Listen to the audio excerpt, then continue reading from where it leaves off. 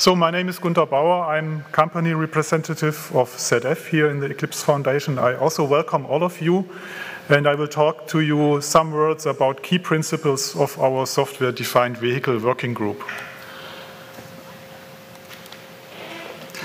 So if we look here on our um, content that we want to deliver, the software-defined vehicle has three different components that we want to develop.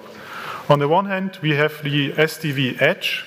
That's the part in the vehicle where we run our um, embedded software in the vehicle. Here we have components like operating system, middleware, or also um, applications on top of that. Besides that, we certainly have a connected vehicle. That means we have also a cloud portion. That's the SDV Ops, where we have our business logic and we have vehicle management system, update management system, and core services that we want to provide to the vehicles. And last but not least, to build that all, we have the SDV Dev, that's the development platform, the ecosystem, which we want to develop here in order to give you all the best uh, developer experience also in the future. And I think this is a big, big story that we want to tackle here with these three components. And we have certainly also here some, some challenges that we, we have on our journey. But yeah, when we started three months ago, I think nobody thought about that we have here this contribution day with more than 400 participants, and I think that's a great success story, and it shows that this is the right topic, and it's certainly also the right time to start this, because as we already said, um, no one will do that on his own. We have to collaborate. So if we look here on the development model, then we have the classical approach on the left side. Typically, we have a specification, then we come to architecture and then to code. That's the old style of development, but this, this will not last in the future. We have to come to an agile approach.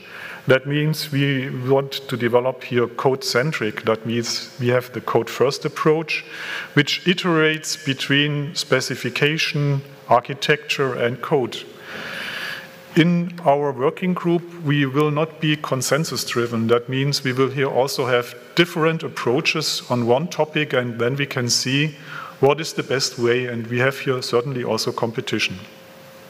That means we have not one single SDV stack, there will be multiple solutions. We will build distributions, that means it will be easy to use and easy to install. But what is also important, there will be gaps, and we need to look also for the gaps that we close the gaps between the existing components. And I think that's also a task we can start today with our contribution day that we discuss okay, now we have these seven projects, but what is missing? Now, here are some governance principles. Code first, I already discussed.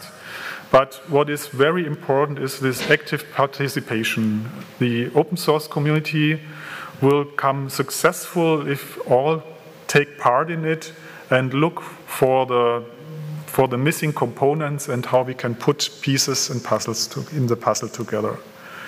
We are very transparent. That means also from from the steering committee, we are we are uh, distributing our protocols and so on. We are open. That means if you have any ideas or suggestions, please contact us in the steering committee. Then we will also give you here the right audience for, for your proposals. And what is also important is this vendor neutrality. That means we are not developing a solution that is locked into one vendor. So if we are looking here on the memberships, then we have here, as of 27th of June, 19 participants. I think that's a good, good starting point. But you are certainly also welcome to join the SDV working group. Um, I think Michael can help you here if you have questions on the membership. But I think we can see we have here tier ones, we have tier twos, and we have also OEMs like CARIAD here. So I think it's a good starting point, but we certainly want to increase here the members also in future. Next slide, please. Yeah, here on this slide, I think I will not read it for you. Here you can see some, some, uh, some documents, and I think you can inform you on the documents. Uh, we are also on Slack, for example, or we have a uh, mailing list or a website, but I think it is easy to get in contact with us. Yeah, here on this slide you can see um, projects and working groups. That's a bit what Stephen already mentioned. The project is the working base or the powerhouse of our uh, community because we here here are the projects and they build the code and they develop the software-defined vehicle ecosystem that we want to bring forward. But to facilitate that, we have the working groups with, with different uh, committees, for example, the steering committee, which uh, focus and promote the contents that we want to bring forward. And here we have a very open governance, and I think that's a great opportunity here with Eclipse together to bring that with a clear governance forward.